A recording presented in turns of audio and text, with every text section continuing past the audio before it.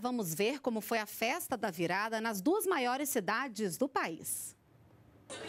No Rio de Janeiro, a festa foi na praia de Copacabana e contou com público recorde de 2 milhões e 900 mil pessoas.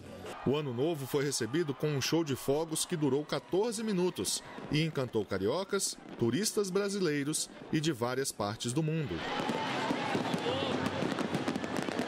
Em São Paulo, o espetáculo de luzes foi na Avenida Paulista, um dos principais pontos turísticos da cidade. A festa teve a apresentação de vários artistas e a queima de fogos durou cerca de 12 minutos.